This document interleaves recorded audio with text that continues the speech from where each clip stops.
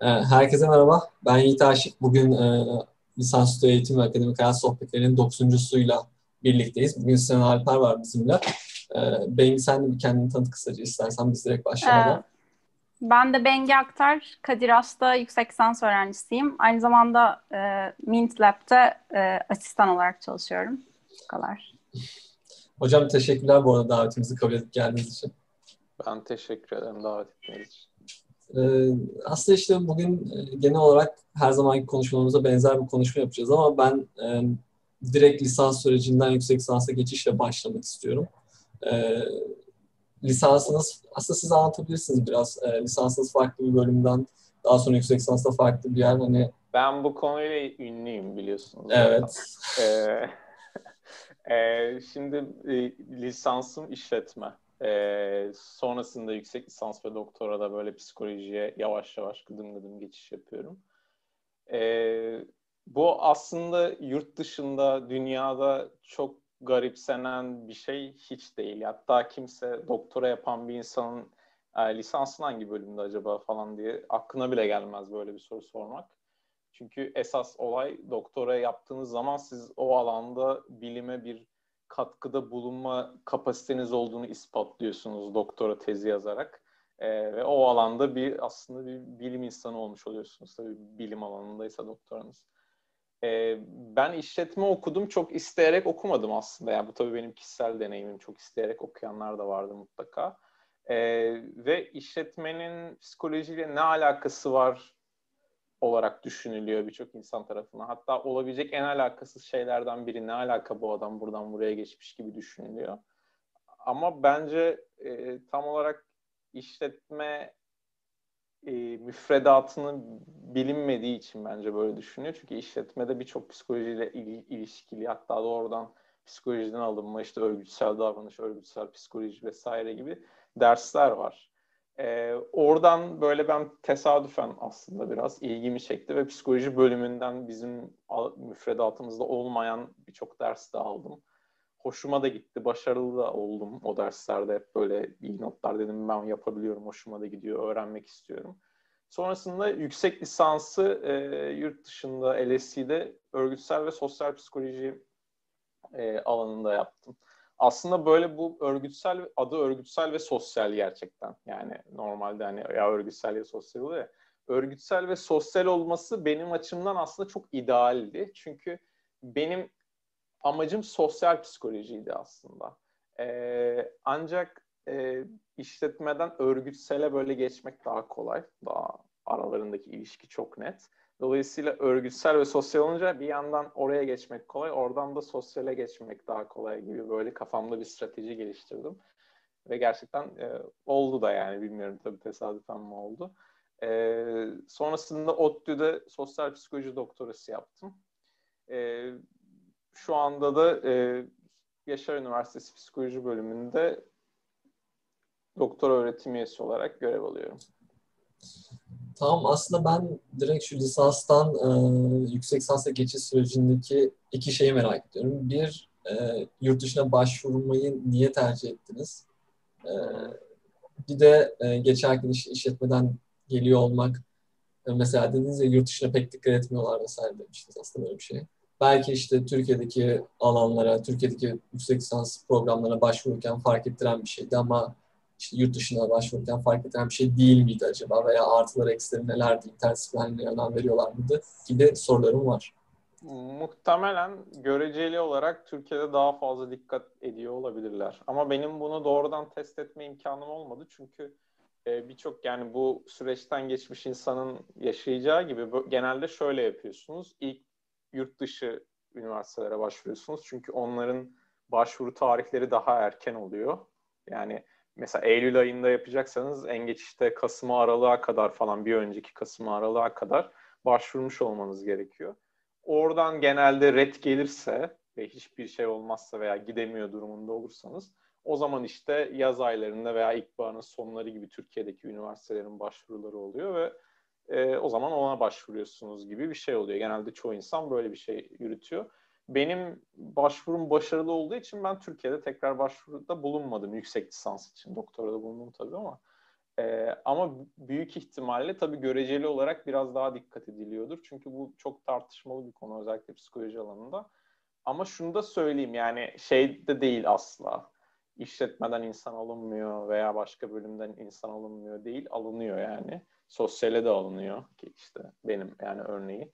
Ee, ama göreceli olarak tabii biraz daha insanlar takılıyor olabilir. Tabii kimin kime denk geldiğiniz veya hangi hocalara denk geldiğinize göre de değişiyor tabii. Tabii programlar arasında çeşitlilik olduğu için ne bileyim, mesela bizim laboratuvara denk gelince belki benim İngiliz dili edebiyatın olmam bir dert değil ama işte başka bir yere denk gelince olabilir. Senin aklında bir soru var mı eklemek istediğin bir şey? Ben şeyi merak ediyorum. Sizce yani tamam yurt dışında bu kadar dert değil dediniz başka bölümden gelmek ama sizi yüksek lisansa kabul etmelerinde size ait bir özellik de etkili olmuş olabilir mi? Yani gerçekten hiç dert değil ve te- kesinlikle tarafsız mı değerlendiriyorlar yoksa ekstra bir şey sunmak mı gerekiyor acaba? Bir e, Ee, kanıtlamak mı gerekiyor kendimizi başka e, tabii bölümden canım. gideceksek? Tabii ben iyi öğrenciydim sonuçta. Yani, Eee, yani şey eee, tabii ki yani şimdi bu bahsettiğimiz üniversiteler eee, yurt dışında yani çok böyle aşırı en üst düzey olmasa bile orta düzey bile olsa dünyanın her yerinden başvuru aldıkları için çok seçici davranma lüksleri var. Türkiye'de birçok üniversitenin o yok mesela yani eee, bazen bazı bölümler programlar işte açıyorsunuz 10 kişilik bir kadro mesela diyelim işte 20 kişi başvuruyor belki, 30 kişi belki. Hani yine seçebiliyorsunuz ama az. Ama 20 kişi, 10 kişilik şeye işte 1000 kişi başvurunca e, o zaman çok daha incik cincik birçok ayrıntıya dikkat etme lüksünüz oluyor. Dolayısıyla mutlaka şey yapıyor. Genelde e, lisansüstü programlarda yurt dışında, benim doktora yurt dışında değil dediğim gibi ama yani bir yüksek lisanstan veya diğer doktora yapan insanlardan e, bildiğim kadarıyla e, sizin motivasyonunuz ve e, yapmayı yapacağınızı söylediğiniz şeyi yapma potansiyeliniz gerçekten o potansiyeli gösteriyorsanız ve o izlenimi veriyorsanız geçmişte yaptığınız şeylerle ve vizyonunuzla da aynı zamanda e, en önemli şeylerden bir tanesi bu. E, onun dışında yani girip de transkripte böyle genelde bakıp şu ders şu ders falan gibi böyle tek tek ayrıntılı inceleneceğini zannetmiyorum. Tabii ki de önemli şeylere bakılıyor ama en çok işte genel olarak e, vizyonunuz yapmak istediğiniz şey ve onu yapabilecek potansiyeliniz var mı? Onu, onu o izlenimi veriyor musunuz? İç motivasyon ve yetkinlik gibi Evet. iki şeye bakıyorlar yani. Peki şey e, yani aslında sırayla gitmek istiyorum. O yüzden yüksek lisans hemen geçmek istemiyorum. Yüksek lisans hakkında şöyle bir soru sormak istiyorum. İngiltere'de yaşama deneyimi nasıldı? Yani yurt dışında yaşamakla e, Türkiye'de yaşamak arasındaki farklar bayağı bariz aslında düşünmüş. Sonuç olarak hani E, e, tabii yani kolay bir şey değil. E, ben öyle çok uzun yıllar yaşama, yaşama durumunda kalmadım ama yaşadığım sürede bile e, yani tatile gitmek gibi bir şey değil sonuçta. Hani gidip bir hafta gezip böyle gelmek, böyle gidip markete falan alışveriş yapıyorsun işte şey yapıyorsun. Bütün o gündelik hayatın e, şeyi sıkıcılığını vesairesini de orada yaşıyorsun. E, ve böyle geçici bir süreyle gittiğin için şey psikolojisi oluyor. Yani bende oluyor en azından, bende oldu en azından veya başka tanıdığım insanlarda da oluyor. Olmayan da vardı mutlaka ama yani ben nasılsa geri gideceğim e, bu okul bitince deyip çok fazla ne oraya yerleşebiliyorsun ne geride kalabiliyorsun. Böyle ikisinin ortası bir şey oluyor. Ve kültür farkı e, var tabii ki bir yandan. E, bir de yani şunu da söyleyeyim. Mesela bu İngiltere'ye özel bir şey aslında biraz. Birkaç farklı ülkede de öyle ama eğitim sistemi de çok farklı. Yani e, mesela bizim üniversite, benim yüksek lisans yaptığım üniversitede şöyle bir şey vardı e, yapı. İşte ilk dönem ders alıyorsunuz. Mesela işte iki, üç taneydi galiba. İkinci dönem bir daha bir o kadar daha ders var. Ve bütün derslerin ilk dönem ve ikinci dönemin e, sınavı ve bu sınav o derslerin yüzde yüzü yerine geçiyor. İkinci dönemin sonunda yapılan sınavlarla belirleniyor. Yani anlatabiliyor muyum? Yani üniversite şey gibi, ÖSS, üniversite sınavı falan gibi. Yani başka şuradan 10 puan 5 puan değil. Yani %100 o sınav ve ilk dönem aldığın dersin de sınavı ikinci dönemin sonunda. Şimdi dolayısıyla e, şöyle bir psikoloji yaratıyor. Yani bende şöyle bir şey oldu sürekli ilk dönem özellikle. Ya benim şu an bir şey yapıyor olmam lazım. Yani bir şeylere çalışıyor olmam lazım ama acaba ne? Çünkü benden hiçbir şey beklenmiyor yani. 5 e, ay boyunca bana kimse bir şey sormayacak ama ben acaba o gün o dakika ne yapıyor olmam lazım ki hani hazırlanıyor olayım. Bu o sorumluluk alma e, şeyi ve kendi kafamızda bir deadline'lar yaratma e, alışkanlığı bizde olmadığı için bizim eğitim sistemimiz öyle değil yani çok tersi. E, biraz zorlandım açıkçası o şeye girmek, o zihni yapısına girebilmek için. Dolayısıyla bu eğitim sistemi farkları da tabii önemli ve bence dikkat edilmesi gereken şeyler. Bizde daha reaktif gibi. Bizden istiyorlar. Şu gün ödevin var o zaman yapıyorsun. Hiçbir şey istemiyorlarsa evet. hiçbir şey yapmıyorsun. Son gün yapıyorsun mesela. Aynen. Son gün. Ama son gün diye bir şey yok mesela. O zaman bütün kavramlar alt üst oluyor. Belki oradaki amaç işte distributed learning yaratıp işte daha uzun dönemli hafızaya atmak gibi bir amaçları olabilir belki de. Bilmiyorum. Ee, Bengi senin eklemek istediğin bir şey var mı? Yok sadece bunu duymak beni çok korkuttu ya. Niye? Gitsem bayağı zorlanacağım bir şey olurdu herhalde benim. Çünkü evet, kendi evet kendi kafanda deadline yaratmak çok zor bir şey ya. Bilmiyorum. Yani şey bu tabii e, ne her ülkede aynı ne de her ülkedeki her üniversitede aynı. Değişiyor yani. Dolayısıyla yurt dışında böyledir demek istemem. Bizim üniversite, bizim bölümde böyleydi yani. Ama olabiliyor işte değişik değişik tarzda yaklaşımlar olabiliyor. Ve o eğitim sistemine alışmış insanlar da çok zorlanmıyorlar veya garipsemiyorlar bunu ama biz garipseyebiliyoruz tabii yani. Peki mesela niye dönmeyi düşünüyordunuz? Yani demin şey dediniz ya ben döneceğim diye çok yerleşemedim. Yani aklınızda dönmek zaten vardı diye anlıyorum ben. Yoksa yani ee, şartlar mı öyle gerektirdi? Yani şartlar öyle gerektirdi. Biraz böyle başarısızlık hikayeleri de paylaşayım. Genelde herkes başarı şey. Ee, yani ben yurt dışında doktora yapmak istedim ve buna dair başvurularda da bulundum. Yani yüksek lisans bitmeden önce tabii şeyler öyle olduğu için. Olmadı yani. Kabul etmediler. E, dolayısıyla geri dönmek zorunda kaldım. Peki mesela merak ettim. Hani tahminen kaç okula başvurmuşsunuzdur ve genel olarak Avrupa'da mıydı, Amerika'da mıydı? Genel yani Avrupa, Amerika çoğunlukluydu. Avrupa'da vardı ama gerçekten hatırlamıyorum sayısını. Yani şu an bu söylediğim belki 9-10 sene önce olan bir şey olduğu için. Hmm. Yani o zaman sonrasında dönüş peki dön yani dönme olayı kesinleşince e, yani oradayken başvurdunuz yoksa dönme olayı kesinleşince buraya geldiniz buradayken başvurdunuz gibi bir şey mi buradaki doktor programı? başvurdum. Dolay yani döndüm. Arada dolayısıyla biraz böyle bir e, boş dönem de olmuş oldu. E, o arada başvurdum. Peki ee, mesela o süreci böyle bir genel bir anlatabilir misiniz? Hani doktor başvurucu sürecini bakarken e, sonuç olarak başlangıçta biz de muhtemelen önce yurt dışında başvurular yapacağız. En azından bizim kapımızda Bengi'yle öyle gözüküyor. E olmadı sonra burada nelere dikkat etmek lazım? Ya şimdi aslında çok böyle işte şey biraz depresif bir dönemdi benim için. Biraz zorlayıcı bir şey. Çünkü şöyle düşünün. E, işte yurt dışında denemişsiniz, şey başvurmuşsunuz olmamış, gelmişsiniz. E, şu, şu an hiçbir şeyiniz yok yani. Hani işiniz de yok, okulunuz da yok. Doktora yapacağım diyorsunuz ama bir garantisi yok yani kabul edeceklerinin. E, dolayısıyla ya işte Türkiye'dekiler de kabul etmezse, olmazsa e, bu sefer şey o opsiyonlarını düşünmeye başlıyorsunuz. Acaba akademik bir kariyer yapmasam mı? Yapamayacağım gibi galiba gibi. Yani o boşluğa insanlar çok düşüyorlar. Bu böyle belki herkesin böyle çok fazla anlat yapmadığı bir şey olabilir. Yani akademisyenlerin vesaire. Ama birçok doktora yapmış, o girmiş dönem şey insanların bir dönem böyle bir şeyleri olmuştur. Özellikle böyle çok şanslı değillerse böyle mesela yüksek lisansta ben şanslıydım mesela. Orada öyle bir şey düşünmem gerekmedi. Ama doktora da öyle olmadı. Birçok insan da yaşıyor bunu. Dolayısıyla böyle bir bocalama dönemi oluyor. Orada aslında çok işte biraz e, şey durmak lazım. E, sağlam durmak lazım. Yani akademik kariyer yapmak istiyorsanız yaparsınız mutlaka ama tam olarak nereden yürümeniz, nereye başvurmanız, nasıl başvurmanız gerektiğini iyi bilmek lazım.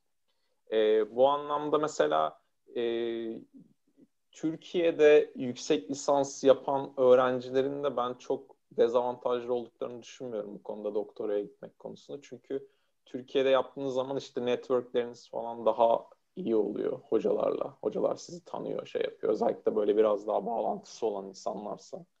Ee, yüksek lisansı yaptığınızda tabii biraz daha deneyiminiz işte tez yazmışsınız. Bir, e, bir daha ileri seviye şeyler öğrenmişsiniz. Doktoraya kabul edilme ihtimaliniz artıyor vesaire. Dolayısıyla o da bir problem değil.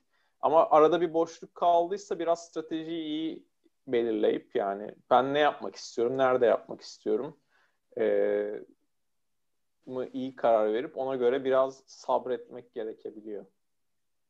Yani şey geliyor bir de benim aklıma. Mesela ben de başvuracağım İngiltere'den bir hocaya. Ya İngiltere'den biri de başvuracak. İkimiz de yüksek lisans yaptık. İkimiz de biliyoruz o konuları. Ne yani ben olsam İngiltere'dekini almayı daha avantajlı bulurdum. Çünkü ben oraya gittiğimde alışamayabilirim. Pat diye bırakabilirim. O zaman ne olacak? Yani sanki böyle hep ekstra e, diğer yurt dışındaki öğrencilere göre ekstra bir şey bilmem gerekiyormuş gibi geliyor. Sanki onlar 5 biliyorsa ben 10 bilmeliyim ki ya neyse bunu alayım ben desin falan. Böyle çok yarışmada hissediyorum sürekli. Muhtemelen evet öyle diyeceksiniz ve ben de çok üzüleceğim ama yine de soruyorum.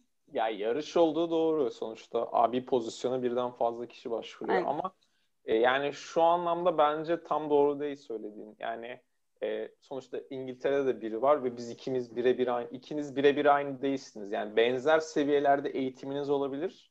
Hı hı. Yani ikiniz de işte yüksek lisans mezunusunuz eğer benzerlik oysa. Ama e, bildiğiniz, yaptığınız araştırma, aldığınız dersler, eğitiminiz, doktora da yapmak istediğiniz işte konu, o konuya dair kafanız ne kadar net, ne kadar belirgin vesaire bunların tamamen birbirinin dengi olması mümkün değil yani iki insanın. Hı hı. E, ve orada yani biraz o işte gitmek istediğin hocanın e, şeyine bağlı. Yani ben olsam mesela şöyle de düşünebilirim. Tabii onu nasıl düşünür bilmiyorum ama yurt dışından bir öğrenci gelmek istese vaa gelsin işte bir cross cultural çalışma yaparız. Bir de Türk başka ülkeden de veri toplarız. Ee, daha iyi olur. Belki daha değişik e, bilmediğimiz şey katar bir e, vizyon katar bize farklı kültürden gelen bir vesaire gibi de düşünülebilir. Mesela geçen gün Onurcu Hoca söylemişti. Biri non-weird çalışmalar yapmak istiyordu galiba. Doktor öğrencisi arıyordu. Adi de aslında bizi tercih edebilir mesela. Yani bizden birini tercih edebilir çünkü non-weird vesaire diye. Evet o da bence e, valid bir bakış açısı. E, peki Bengi senin ekleyeceğin bir şey var mı?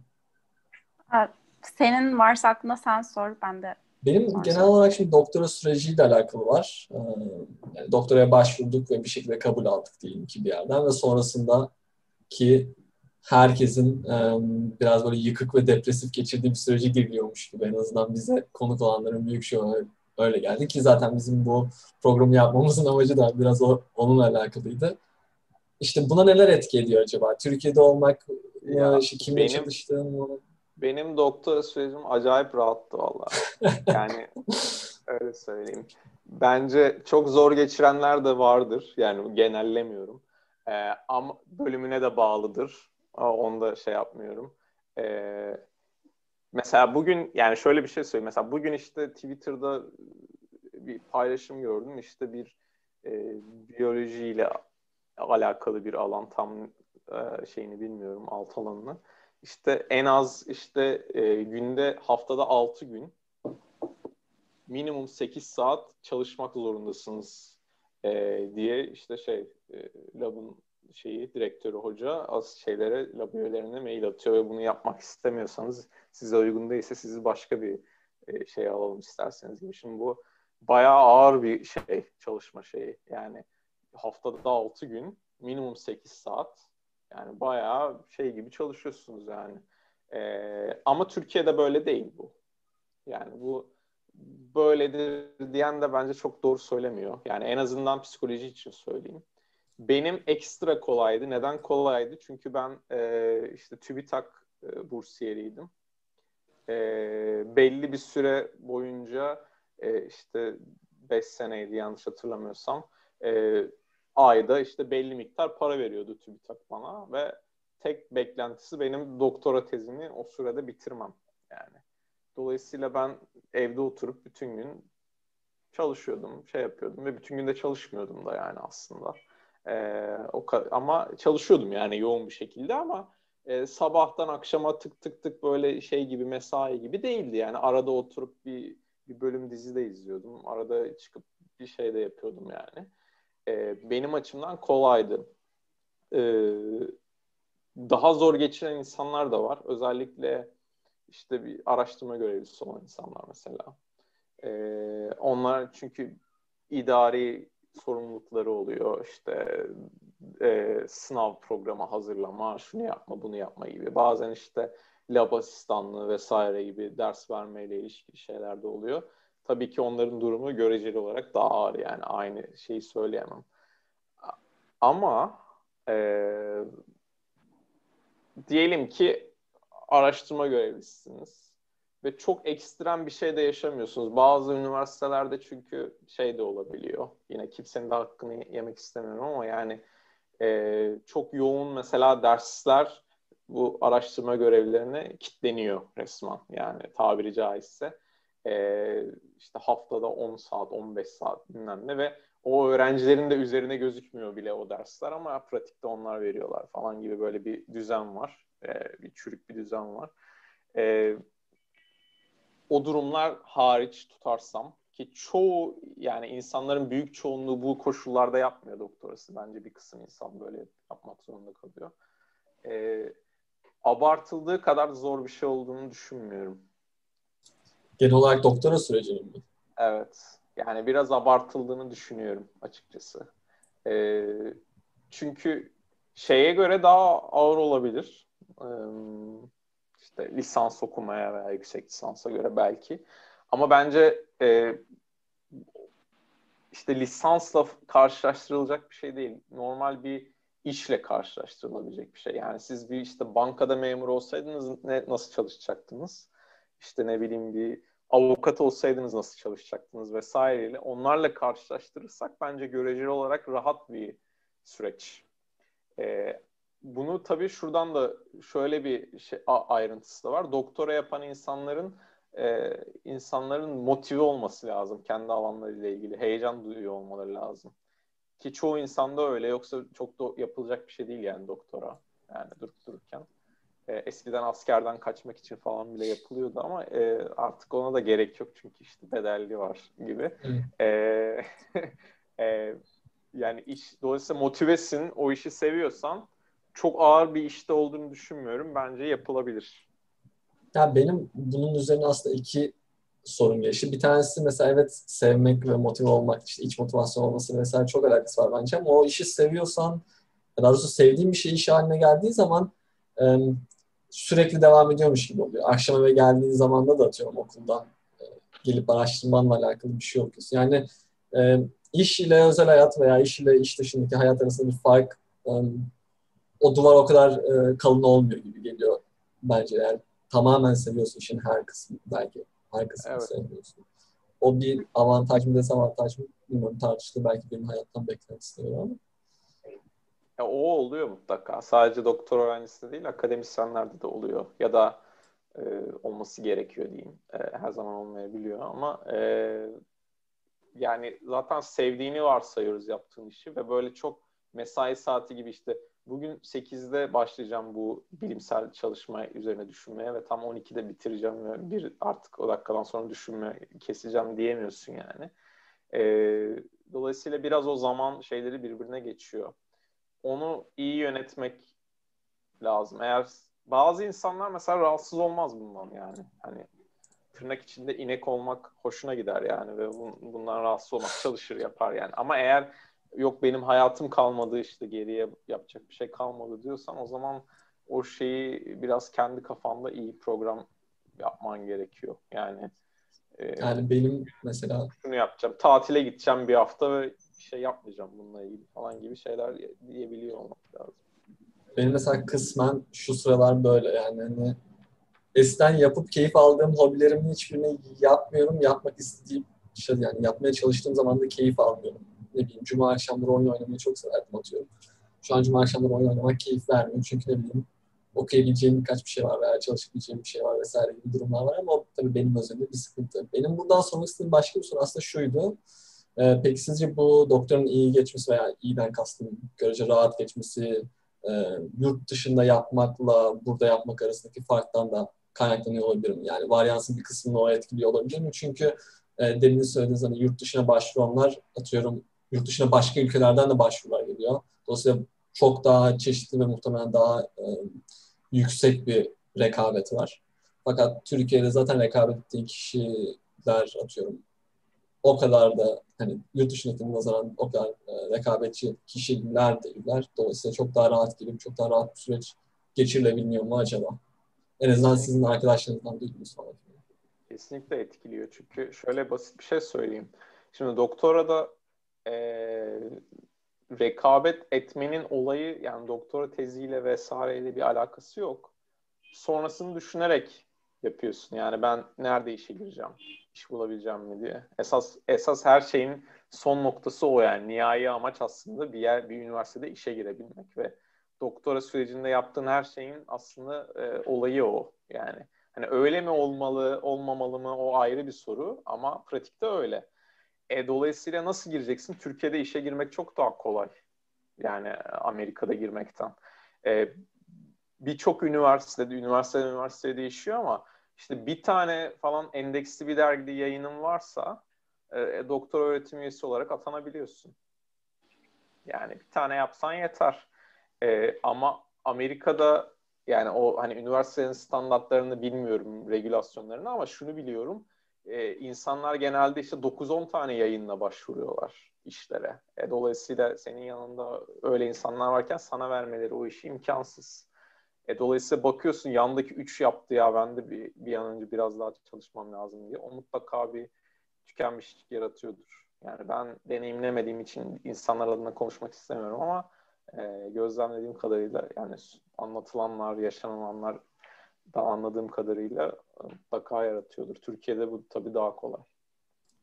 Özellikle içsel motivasyonunuz daha zayıfsa işte iyice insanların iyice salmasına sebep olabilecek bir şey oluyor. Çünkü ben bir tane yayın yaptım zaten ama artık ya falan dersen iyice salıyorsun. Ki birçok insan da salıyor zaten.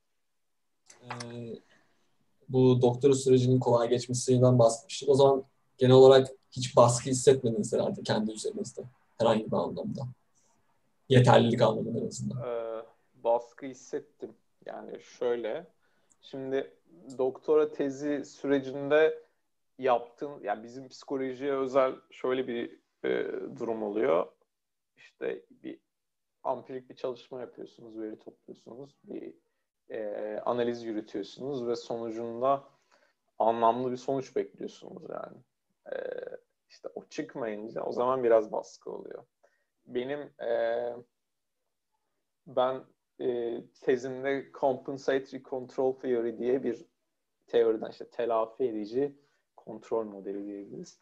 Bir modelden yola çıkarak onu böyle geliştirecek ve işte biraz daha daha e, kapsayıcı hale getirecek bir model önerip bununla ilgili böyle çeşitli deneyler yaptım.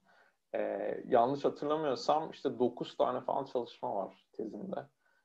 Bunlardan neredeyse tamamı da hiçbir şey yok. Yok yani. Sonuç çıkmıyor. Yapıyorum olmadı bir de şöyle deneyeyim. O da olmuyor. E bir süre sonra tabii insan bayağı sıkıntıya giriyor. Çünkü dediğim gibi tamam evet yani o kadar da yayın baskısı yok Türkiye'de belki ama yine de yani bir iki tane olsa iyi sonuçta ee, gibi. E, ama nasıl olacak? Çıkmayacak vesaire. Neyse buradan e, doğrudan tezin hipotezi olan değil ama biraz daha yan bir konuyla ilgili çalışmalardan bir tanesi bir şekilde bir makale olarak basıldı. Bir tane de e, şey o e, basıldı. Bir bununla tamamen alakasız benim tezimle. Farklı bir aldığım dersten derste yazdığım bir araştırma önerisi üzerinden bir şey yapmıştım. O yayınlanmıştı. Dolayısıyla o anlamda biraz kafam rahatladı. Ama teze dair ciddi bir yetersizlik hissi oluyor. Çünkü o benim işte replike etmeye veya geliştirmeye çalıştığım çalışmalar e, bir sürü makale var. Yani bir sürü literatür var. Ben yapıyorum bir türlü olmuyor, olmuyor, olmuyor. Ben işte bir şekilde olmadı. Ondan sonra e, yaklaşık işte ben 2016 yılında doktoradan mezun oldum. 2018 veya 2019 yılında ikisinden biri bir tane replikasyon çalışması yapıldı. Doğrudan bir te- teorinin en klasik şeyiyle ilgili yani hipoteziyle ilgili ve çıkmadı sonuç. Ya dedim Allah belanızı versin. Beni uğraştırdınız kaç sene? Ben 5 sene uğraştım bununla. Dolayısıyla bu yani bu replikasyon krizi vesaire diye konuşuluyor ya psikolojide. Aslında sadece böyle çok entelektüel bir şey değil yani. E, konu değil. Aynı zamanda doğrudan insanların kariyerlerini etkileyebilecek. Çünkü sen onu verili kabul ediyorsun yani. 15 tane 20 tane çalışma yapılmış. Demiyorsun ki yani bu çalışma acaba doğru mu? Sen alıyorsun onu işte özgün bir şey katacaksın ya yani olayı o. Onu geliştirmen lazım. E geliştiriyorsun ama üstüne kat çıktığın binanın altı çürük farkında değilsin. Boşuna uğraşıyorsun gibi bir durum var. Dolayısıyla o anlamda biraz şanssızlık yaşadım aslında. Yani birçok insandan çok daha fazla uğraştım. Veri topla çalışma yapayım, düşündüm, farklı tasarımlar vesaire. Ee, ama hiçbiri olmadı. O anlamda ciddi şanssızlık yaşadım. Ama tesadüfen onu kompanse edecek birkaç şey olduğu için e, çok büyük bir dezavantaja uğramamış oldum. E, ama işte o ye, ye, tezinde bir şey bulabilme baskısı var mutlaka. Çünkü bulabileceksin ki çünkü yayın yapacaksın. Yayın yapabileceksin ki işe gireceksin. Yani. Ama yani mesela peki bu, bugün de geçerli mi diyecektim ben de. Aynen. Çünkü paradigma yani, değişiyor yani. Ama Türkiye'de şu an, böyle bir şey var. Bulmak demek şey gibi değil herhalde. İşte significant bir şey bulmak demek değil yani. Ya belki o dö- sizin dönem dönemin azizliğine uğramışsınız biraz gibi geldi yani. Şu an ben tezimde bir şey bulmasam mesela bu da önemli, bunun da önemli olduğunu biliyorum gibi bir şey var. Bilmiyorum. Evet. E, kesinlikle göreceli bir fark var. Yani zamana göre ama kesin olarak bu sorun çözüldü diyemeyiz bence. Çünkü şöyle düşünün yani e, işte Harvard'sınız. Birini alacaksınız işe. İki tane insan var. İkisi de acayip çalışmalar yapmış. Çok uğraşmış, veri toplamış, deneyler yapmış. Bir tanesi bir hipotezi doğrulamış ve belli sonuçla ulaşmış. Bir tanesi de o hipotezin doğru olmadığını veya geçmiş çalışmaların replike olamadığını bulmuş. Hangisini işe alırsınız? Şimdi birçok şey kurum hala daha yani ne olursa olsun bir şey katmış, bir şey bulmuş, kendisine dair bir şeyin varlığını bulmuş insanları e, daha ön plana koyuyor. Bir şeyin var olduğunu bulamayanlara göre. E, dolayısıyla e, tabii ki de var ama işte sadece replike edememiş olmak falan çok böyle büyük bir nitelik göstergesi değil hala işte. Ama onu biraz daha ilerletirsen belki niye replike olamadı, e, açıklaması ne, şöyle yapsak oluyor aslında ama böyle yapınca olmuyor falan gibi o, o tarz şeylere girebilirsen evet. Ama sadece bir şeyi bulamamış olmak ve orada kalmış olmak, tıkanmış olmak e, çok maalesef yani doğru bir şey olarak söylemiyorum ama pratikte öyle seni böyle çok ön plana atacak bir şey değil hala günümüzde.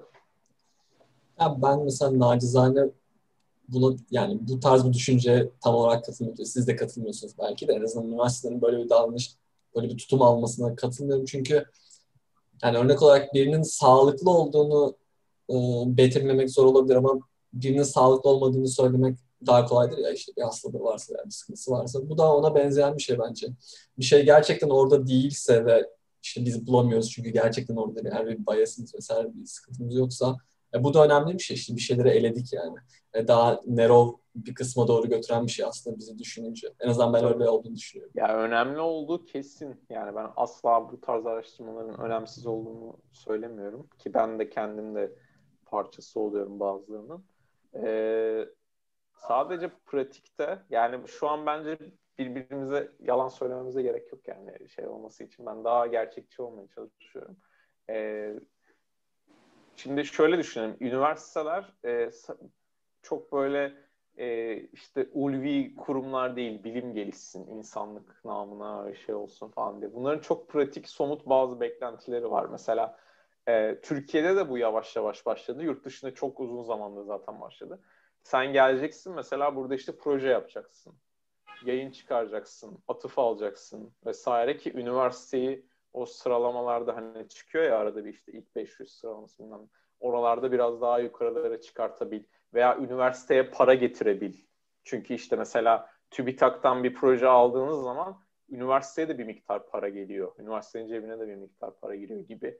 Dolayısıyla iş yapacak, bir şey bulacak ve o bulduğu şeyle insanları etkileyip daha fazla proje çekecek falan insanlar aranıyor. Ama yani işte TÜBİTAK proje başvurusunda bulunduğunda biz böyle bir sonu böyle iki grubun arasında bir fark olmadığını düşünüyoruz ve işte e, bu geçmişteki çalışmaları çürüt, şey, çürütmesi beklenen bir replikasyon çalışması yapacağız dediğinde yani çok sanmıyorum büyük paralar getirebileceğini üniversiteye. Yani orada işte doğru olan değil ama pratikte olan şeyi söylemeye çalışıyorum. Bu hala var. Değişmesi gerekiyor. Değişti mi? Tam değişmedi ama iyiye doğru biraz göreceli olarak gidiş var. Ha, yani şunu da söyleyeyim. Replikasyon, büyük çaplı replikasyon projeleri de var Amerika'da. Ciddi paralar getiren, e, alınan vesaire. Ama bunlar işte daha tek tük yavaş yavaş yeni başlıyor. Başlayan şey. Bengi senin eklemek istediğin bir şey var mı? Um, şu an yok sanırım aklıma gelen bir şey. Peki o zaman aslında e, demin şeyden de bahsettik. E, aslında doktor sürecinde bu baskı ve her şeyin e, günün sonundaki amacı şey. Ben doktor sonrası potansiyel bir işsizim. Bir iş lazım. Bir yerde işe girmem lazım. E, peki iş marketi hakkında genel olarak şu an ne söyleyebilirsiniz? Hem Türkiye için yurt dışı takip ediyor musunuz bilmiyorum da en azından ben Twitter'dan gördüğüm kadarıyla inanılmaz bir rekabet var. Özellikle Amerika'da işte teen pozisyonları için veya nasıl telaffuz ediyorsa. Ee, hem bunu soracağım hem de şuna da gelmek istiyorum. Ee, yurt dışında doktorasını yapmış birinin e, Türkiye'ye dönüp iş marketine kendine bir yer edinmesiyle burada doktorasını yapmış birinin e, kendine bir yer edinmesi bu şeyde akademide. Yani bu ikisi arasında fark var mı? Şimdi e, ilk soruya cevap vereyim. Amerika'da veya işte Batı Avrupa'da vesaire inanılmaz bir rekabet var gerçekten. E, sadece doktora yapmak da yetmiyor. Artık postdoc yapılıyor. Hatta iki tane postdoc yapılıyor vesaire. Yani bunun böyle sonu yok. E, çok acayip bir rekabet var ve ciddi anlamda iyi yerle, iyi üniversitelerde bir şekilde kadro üstü üniversitelerde işe girebilmek için ciddi anlamda bir fark koymak gerekiyor. Ama Türkiye'de aynısı geçerli değil. Yani bu tabii dok Türkiye için belki kötü bir şey ama doktora yapan insanlar için iyi bir şey. Çünkü niye? Birincisi o kadar aday yok. İkincisi çok fazla iş var. Yani çok fazla iş vardan kastım çok fazla üniversite var. Hepsi sapır sapır açıyor yani bölümleri. Psikoloji mesela ilk açılan şeylerden bir tanesi çünkü talep var bölüme ve yatırım yapılmasa da olur gibi görülüyor. Yani açalım işte. Öyle büyük bilgisayarlar bilmem almamıza gerek yok. İşte sınıfta tahtada yaparız dersi. Konteyner doldururuz gibi göründüğü için açılıyor ve çok fazla e, şey arayan, öğretim üyesi arayan bölüm var. İstanbul'da, Ankara'da, İzmir'de de var. E, küçük şehirlerde daha çok var çünkü insanlar genelde işte gitmek istemiyorlar vesaire gibi ya mutlaka bulunuyor bir şekilde. Yani işte bir iki tane SSCI yayının olsun. Hani şu üniversitede işe girersin diyemem ama yani mutlaka bir yerde girersin ee, gibi bir durum var. Ha tabii bu yavaş yavaş piyasa doyabilir buna zamanla. Uzun bir ama daha ona bence bayağı bir zaman var yani en az 10-15 sene var belki. Ee, dolayısıyla Türkiye'de çok zor değil. Yurt dışında doktoradan gelme meselesi de eğer yani şöyle söyleyeyim. Bazı üniversitelerde biraz daha ahbap çavuş ilişkisi gibi oluyor. Ee, daha tanıdıkları insanları vesaire alıyorlar işlere. Öyle hatta bazı üniversiteler mesela daha da ileri gidiyor. Sadece işte neredeyse sadece kendi öğrencilerini işe alıyorlar falan gibi böyle üniversiteler var. Yani doktorası orada yapılmış vesaire gibi. Ee, dolayısıyla orada yurt dışından gelmek çok büyük bir avantaj olmayabilir. Ama onun dışında daha iyi devlet üniversitelerinde mesela işte ODTÜ'de Boğaziçi'nde gibi veya önde gelen vakıf üniversitelerinde e, mutlaka yurt dışından doktora ile gelmek daha avantajlı diye düşünüyorum. Yani network'ünüz biraz daha az olabilir ama orada yani yurt dışından doktora yaptıysanız zaten yayınınız falan da oluyor genelde. Ee, bir şey marka oluyor. Yani işte şu X üniversitesi deyince insanların gözü büyüyor. Dolayısıyla giriyorsunuz. Ha bu tabii bazen şey de olabiliyor biraz yan e, biraz abartılı bir izlenim de olabiliyor yani. O üniversitenin adı üniversite ne kadar büyükse o kişi de o kadar kaliteli akademisyendir olmayabiliyor her zaman. Yani bunun karşı örnekleri var mutlaka. Veya işte Türkiye'den yaptı diye o kadar da iyi değildir diyemiyoruz. Bunun karşı örnekleri var. Ama işte genelde böyle bir şey e, prestij ipucu gibi e, kullanıldığı için genelde daha kolay oluyor işe girmesi. Bengi? Ya biraz geçtik aslında o kısmı ama aklıma bir şey gelmişti. Unuttum sormayı. Bir de şunda benim kafam karışıyor. Yani şu an en azından başvuran arkadaşlarımdan ya da önceden doktoraya başvuranlarda şey görüyorum. Mesela 15 tane okula başvuruyor yurt dışında. Ve tabii ki hepsi öyle istediği konular olmuyor. Yani hani belki istediği konunun ucundan bir konu oluyor falan. Ya en azından ben mesela bilmiyorum öyle bir lüksüm var mı ama çok istediğim bir konu olmazsa, istediğim bir hoca olmazsa başvurmamayı düşünüyorum. Bu mantıklı mı? Yani çünkü dört yıl orada çalışacağım ve yani bir noktada sıkılabilirim gibi geliyor. Yani Türkiye'de olsa belki biraz daha şey yaparım, esnek olabilirim. Ya ailem burada, alıştığım bir ortam falan ama yurt dışında sanki çok istediğim bir konu olmalı ki hiç sıkılmayayım ve yani garantisi yok ama işte bırakmayayım gibi böyle bir şey var, düşünce var aklımda ama bilmiyorum ne kadar mantıklı. Ya aslında değişir çünkü yani şöyle söyleyeyim Türkiye ve yurt dışında bu durum biraz farklı. Türkiye'de de doktoraya başvururken senden araştırma konusu falan soruyorlar ama onun bir bağlayıcılığı olmuyor.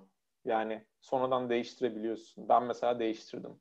Ee, yani benim girerken aklımda olanla çıkarken yaptığım tez arasında neredeyse çok fazla yani sosyal psikoloji konuları olması dışında e, çok fazla bir alaka olmadı. Ve bu benim tercihim oldu. Bu anlamda e, bir e, aslında iyi bir şey örnek senin için. Çünkü e, sen şu an yapmak istediğim şu konu şu diyorsun ama e, o zamanla onun değişmeyeceği anlamına gelmiyor. Yani ki birçok insan değiştiriyor. Çünkü başka konuları da gördükçe, başka yapılan işleri de gördükçe o insanlığın kafası çok farklı farklı yerlere gidebiliyor. Dolayısıyla bence tabii ki ama yurt dışında dediğin gibi yani bir birinin işte labına vesaire birinin öğrencisi olmak üzere gittiğin için o kişinin e, alanının çok dışına çıkmıyor olmak lazım. Ama o, o kişinin alanının en azından ucundan kıyısından dokunduğu tarzda şeyler ilgini çekiyorsa bence çok da fazla kapıyı kapatmamak gerekir. Çünkü e, fikirlerin değişecek yani mutlaka. Şu anki olduğu gibi olmayacak yani. Beş, hatta doktora tezini yapacaksın mesela belli bir konuda. E, ondan sonra bitecek işte işe gireceksin diyelim. Orada yaptığın şeyler konuları da tekrardan da değişebilir. Yani o böyle çok sabit bir hat üzerinde kalmak zorunda olan bir şey değil. E, dolayısıyla bence çok katı olmamak gerekiyor ama tabii aşırı da esnek de olmamak gerekiyor. Yani aşırı alakasız bir şeyse o zaman olmaz tabii. Ama e, ucun yani bir şekilde denk geldiği, üst üste bindiği şey alanlar fazlaysa bence değerlendirilebilir diye düşünüyorum. Ben olsam en azından şey yapardım yani. Benim mesela deminki soruya, deminki soruma böyle daha ek olarak e, bir tık ileriye götürerek şunu, şunu da merak ediyorum. Diyelim ki e, doktorayı burada yaptım ve işte postdoc süreçlerini geçtik bir şekilde işte asistan profesör veya neyse, doçent, doktor, öğretim üyesi neyse o şekilde buradayım. Fakat 35 yaşına geldim veya 40 yaşına geldim ve yurt dışında yaşamak istediğime karar verdim. Böyle bir durumda doktorasını yurt dışına yapmış biri mi daha avantajlı işte yoksa Türkiye'de mi? Yani elbette karşı örnekleri var vesaire ama on average yani ortalamada e, bu en azından bir etkisi var mı yani? Ya bu mesela bana benim durumuma benziyor diyelim. Ben şimdi işte 33 yaşındayım aşağı yukarı. Ee, ve işte diyelim bundan bir iki sene sonra yurt dışına taşınmaya karar verdim veya gitmek istiyorum. Bir yerde işe başvurdum. Orada bence benim doktora tezimi hangi üniversitede bitirdiğim çok majör bir faktör olmayacaktır diye düşünüyorum. O doktoranı nerede bitirdiğin senin doktoradan sonra neler yapabileceğine dair bir izlenim oluşturduğu için önemli. Yani bu adam mesela diyorlar Harvard'dan mezun oldu. Önümüzdeki 3-5 sene e, iyi yayın yapar gerçekten gibi bir beklenti oluşturuyor. O beklenti doğru veya yanlış çıkabilir. Ama 3-5 sene geçtikten sonra o beklentinin doğru veya yanlış çıkıp çıkmadığı zaten belli yani. Senin şeyin belli yaptığın veya yapmadığın şeyler. Dolayısıyla e, o üniversiteyi ipucu olarak kullanmak bence çok öne, anlamlı hal anlamsızlaşıyor yani. Çünkü o üniversitenin olayı zaten senin ne yapıp yapamayacağını göstermesi veya onunla ilgili bir tahminde bulunmasını sağlamak. Ama sen zaten o kısmı yapmışsın. E, yaptın mı yapmadın mı ne yaptın doktoradan sonra? Bence yani benim tahminim onlara odaklanacaktır insanlar. E burada bir faktör olarak şey de var. Farklı üniversiteler farklı imkanlar sunuyorlar tabii araştırma yapmakta veya yani ne bileyim Türkiye'de kalıp Amerikan evet. sample'ı toplamak istediğiniz zaman e, işte bir dolar vermek bile daha fazla koyuyor muhtemelen yani. Tamam. Peki Bengi senin eklemek istediğin bir şey var mı bu konuyla alakalı? E, peki ben şeyi de merak ediyorum. E, yüksek lisans belki doktorun bir fragmanı gibi. En azından öyle diyebiliriz herhalde yani. Bir şekilde birbirine benziyor ikisinde e, dersler alınıyor, ikisinde de tez yazılıyor vesaire. E, peki diyelim ki ben yüksek lisanstan sonra karar verdim doktora yapmaya. Evet gerçekten benlik bir şeymiş dedim. Fakat doktora gidip gördüğümde e, fikirlerim değişti. Olabilir akademi içindeki yani belki bulunduğum pozisyonda belki de akademinin genelinden memnunum ve dışarıya endüstride veya başka bir yerde çalışmaya karar verdim. Öyle bir karar verdiğim zaman doktorda veya yüksek lisansta işte edindiğim beceriler, özellikle doktora üzerinde konuşuyorum. Çünkü doktor dediğim şey çok spesifik bir alanın, çok spesifik küçük bir alanda uzmanlaşmak gibi bir şey benim en azından şu an bulunduğum konudan anladığım kadarıyla. E işte bu uzmanlaşma dışarıya taşınabilecek bir şey mi? E, veya en azından bu uzmanlaşma sürecinde elde edilen diğer araçlar ve beceriler dışarıya taşınabilecek bir şey mi sizce? Ya kesinlikle taşınabilir. Ne, ne derecede taşınabilir veya ne kadar fazla opsiyonun olacağı biraz bölüme göre değişiyor. Yani e, bazı alanlarda zaten doktora yapanların çok önemli bir kısmı akademide çalışmıyorlar. Yani işte mühendislik vesaire gibi böyle daha uygulamalı şeylerde işte çeşitli kurumlarda, şirketlerde vesairede özel sektörde çalışıyorlar. Onların bilgi şey yani den şeyleri yetkinlikleri çok uygun çünkü ona. Psikoloji açısından düşünürsek o da işte biraz şeye göre değişiyor. Ee, yine psikolojinin hangi alanı olduğuna göre değişiyor diyelim. Yani mesela atıyorum sosyal psikolojide biraz daha böyle iletişim, ikna vesaire gibi şeyler çalıştınız. E bunun özel sektörde de bir karşılığı olacağı net zaten. Yani işte, e, PR şirketleri, işte reklam şirketleri vesaire bu tarz konularda veya işte belki devlet kurumları bir çeşitli onunla ilgili e, alanlar olabilir. Mesela ee, ahlak çalıştıysa. İşte onu çok yok. belki diyanet işleri olabilir. Ee, yani e, belli alanlarda o, o yok tabii. Yani biraz daha e, uygulamalı applied bir boyutunun olması lazım veya kendi konunu oraya çekebiliyor olman lazım bir şekilde. Yani sonuçta birine gideceksin diyelim bir şirketin patronunu atıyorum. Yani seni niye işe alsın? Çünkü ben senin şu işine yararım e, diyebiliyorsan insanlar şey kabul edeceklerdir bunu yani. E, ve psikolojide de yani birçok alanda bu çok Türkiye'de yaygın bir şey değil yani onu söyleyeyim. Türkiye'de çok fazla yaygın değil. Ama bence olmaz da değil yani. Ben, benim mesela aklımda bazı fikirler var akademi dışı ne yapılabileceğiyle ilgili kendime dair. O yüzden ne olduğunu paylaşmayacağım fikrimi çalmayın diye. Ama e, ama e, bence yap, yapılabilir bir şey olduğunu düşünüyorum. Ve belki de çok fazla yap, yapılan bir şey olmaması Türkiye'de bir avantaj da olabilir. Yani piyasa boş. Ya, ben mesela geçen hafta mı ne işte umutsuzluğa kapıldım. Hani doktoradan mezun olsam ya acaba girebilecek miyim o ayrı bir konu zaten. İşte mezun olsam ne yapacağım falan. Sonra bir an aklımdan şey geçti. Aslında oy verme şeyleriyle ilgili bir şey iş bulunabilir falan. Sonra şey oldum neler düşünüyorum falan. Hani beni bu noktaya mı getirdi şey insanları manipüle mi edeceğim falan. Ve bir yandan çok umutsuzluğa kapılıyorum akademiyle ilgili. Bir yandan diyorum ki yok ya aslında hocalarım o kadar da kötü şeyler söylemiyor. Ama sonra Twitter'a giriyorum ve herkes şey yazıyor işte sömürülüyorum. İşte beni çok çalıştırdılar. Artık dayanamıyorum. Resmen kölelik, yeni kölelik bu falan. Ya bunların ne kadarı doğru? Biz biz ilk bölümü Mete Sefa Uysal'la yapmıştık. Onun da ilk bölüm Mete Sefa Uysal'la yapmamızın sebebi e, o bir tweet atmıştı şöyle. İşte, e, 4 sene önce bugün doktoraya başladım. E, hayatımda bu kadar yıprandığım ve sağlığımda olduğum başka bir hayat, başka bir dönem olmadı falan demişti. O yüzden onunla başlamış. Ya abarttığını söylemişti biraz tabii de. E, evet. Benim aslında bu benim aslında genel olarak burada sorduğum sorular vesaire amaç şu. Ben e, kolumun altında öyle bir beceri seti olsun istiyorum ki yarın öbür gün fikrim değişirse bir yerden başka bir yere geçmek benim için e, külfet haline gelmesin, yani zor olmasın. E, o beceri seti birçok yere e, uygulanabilir olsun istiyorum. İşte matematik veya işte veri bilimi bence buna yakın bir şey. Sonuçta her yerde veri var. O zaman bir şekilde veriyi nasıl yorumlayabildiğini ve nasıl anlam çıkarabileceğini bulursan ve nasıl modelleme bir yerlerde iş bulursun gibi.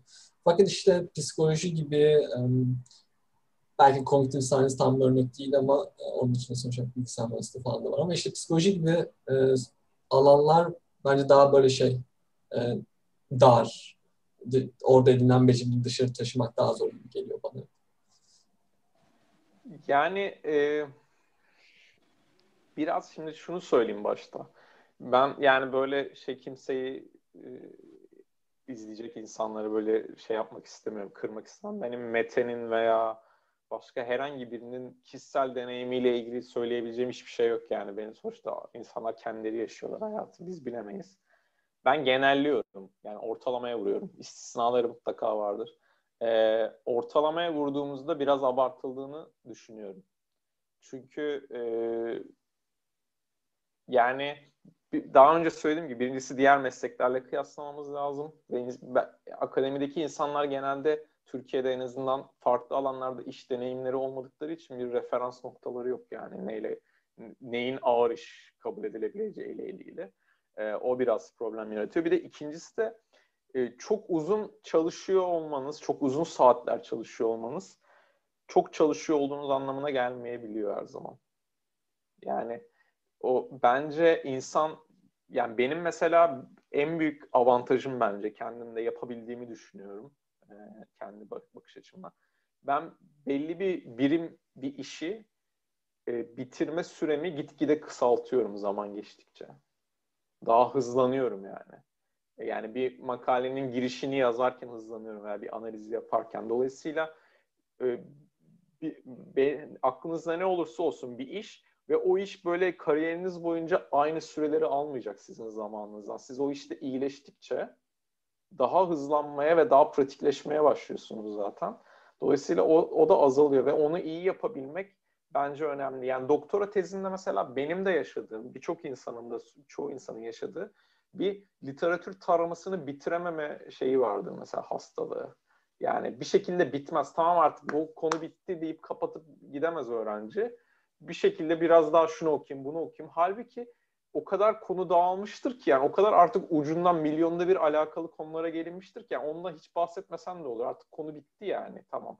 Dolayısıyla nerede artık çalışmayı bırakıp tamam bu yani optimal noktaya ulaştım ve artık daha fazla vakit harcamama gerek yok bu konuya diyebilme becerisini geliştirmek bence çok önemli akademide. Yoksa böyle kopup gidiyorsun yani işte bir şeyde literatür taraması yapmak da bir procrastination metodu oluyor aslında. Yani esas işe girmemek için şunu da okuyayım, bunu da okuyayım. Halbuki bitti artık. Tamam artık yazabilirsin yani. E artık sonuçta belli sayıda makale var. Gibi bir şey var. Ee, bu ilk kısmıydı sorun da. ikinci kısmı neydi? Yiğit son, son bahsettiğin şeyi hatırlatır mısın bana? Yani benim aslında işte şey demiştim hani yani, e, psikoloji daha dar aynen yani beceri seti geniş evet. olacak ki işte ne bileyim demin dediğim gibi 35 yaşına karar verdim 40 yaşına karar verdim ben yurt dışına gitmek istiyorum. Yurt dışındaki adam diyecek ya tamam bu gelsin yine de. Burada kalma karar versem de burada da bir sıkıntı olmasın istiyorum. Ya tabii. burada e, şey yani işte veri bilimi işte analiz büyük veri vesaire gibi şeyler bence standart cevaplar. Bunların böyle çok geleceği var. Ee, özellikle davranış bilimleri konusu. Çünkü psikolojiden gelince teorik kısmını da biliyorsun. Şey yani bizim aslında avantajı mesela benim çok iyi olduğum bir şey değil. Kodlama vesaire. Hatta hiç iyi olduğum bir şey değil. Ama e, bence e, bizim avantajımız yani psikolojiden gelip de bu konuları bilen insanların avantajları işin teorik arka planını da biliyor olmaları. Çünkü e, sadece işte veriyle ilgilenen, sadece o veriden bir model çıkar, çıkaran insanların getirilen en büyük eleştirilerden biri. İyi de bu bizim ne işimize yarayacak şimdi çıkardığım model çünkü hiçbir mantığı yok, hiçbir yere oturmuyor tamam falan gibi. Dolayısıyla o eleştiriyi de kırabilecek şey hem psikoloji veya davranış bilimi background'ı olacak hem veri analizi bilecek. Bu insanlar böyle çok fazla yok. Hani artıyor sayıları evet ama çok fazla yok. En azından Türkiye'de yok. Ee, bir yani beceri seti ne olabilir şeyine böyle standart verilebilecek cevaplar var ama böyle çok da hani şunu da öğren akademide iş bulamazsan bu işi yaparsın denilebilecek net bir cevap da yok bence. Çünkü o konuyu senin kendi yaratıcılığına kalmış. Yani o işi sen sana öyle bir iş var Yiğit gelip yapar mısın demeyecek kimse. O işi sen yaratacaksın gibi bir şey var yani en azından Türkiye bağlamında. Ee, dolayısıyla biraz yaratıcılığa ve şeye bağlı. Yani alan bilgisi de dediğiniz gibi şey benim de gördüğüm kadarıyla. Yani bakıp mesela ben şu işi yapabilirim ve şu işi, bu işi benim kadar iyi şu an yapabilen yok. Ben bu doktora bilgimle, bu şeyimle aslında daha iyisini yapabilirim deyip gerekli ilgili kişileri, kurumları vesaire de ikna edersen o işi zaten kendine yaratmış oluyorsun. Biraz öyle gitmesi gerekiyor herhalde Türkiye'den. Bengi senin eklemek istediğin bir şey var mı? Ya aklımdaki soruların çoğunu cevapladı neredeyse Sinan Hoca. Sanırım benim evet. gelmiyor başka aklıma Benim şey. de öyle. Şu an yani aklımda herhangi bir soru kalmadı. Hocam sizin eklemek istediğiniz ve işte toparlamak istediğiniz bir şey var mı? Genel olarak söylemek istediğiniz bir şey. Bu süreçte işte yüksek lisans veya doktora sürecinde olanlar. Başvuru sürecinde. Var. Yani eğer amacınız akademik kariyer yapmaksa yani gerçekten kendi şeyinize yani kendinize çizdiğiniz plan buysa ve diğer başka şeyler sizi o kadar heyecanlandırmıyorsa doktora yapın. Yani bunda korkulacak bir şey yok. Yani evet çalıştırılıyorsunuz ama yani zaten yetişkin hayatı böyle geçiyor yani maalesef. Yani bir şekilde çok istisnai durumlar haricinde bayağı bir çalışıyorsunuz. Yani diğer mesleklerde de böyle beyaz yaka işlerde mesai saatleri vesaire birbirine girmiş durumda herkesin. Yani hafta sonunda şöyle böyle vesaire ama Türkiye'de özellikle e, akademisyenlik zor bir iş değil e, genel olarak. Bazı üniversitelerde biraz daha yoğun iş saatleri vesaire oluyor, şey ders saatleri oluyor. Ama çoğu da diğer işlere kıyasla yani bugün ben öğleden sonra işe gitmeyeyim diyebiliyorsunuz veya şu iki gün gitmeyeyim diyebiliyorsunuz yani. Birçok insan genelliyorum hala e, istisnalar o, olabilir ama birçok akademisyen Türkiye'de arada bir işe gitmeyebiliyor yani. Ve evde evden çalışıyorum vesaire dediğinde de evden böyle sürekli çalışmıyor yani. Evden işte arada bir bakmış yani bir 15 dakika e, gibi oluyor. Yani işin gerçeği bu. Bu güzel tabii. ee, var mı Bengi aklına gelen bir şey? Yok. Teşekkür Yoksa, ederim. Evet, çok teşekkür hocam. Ben teşekkür ederim.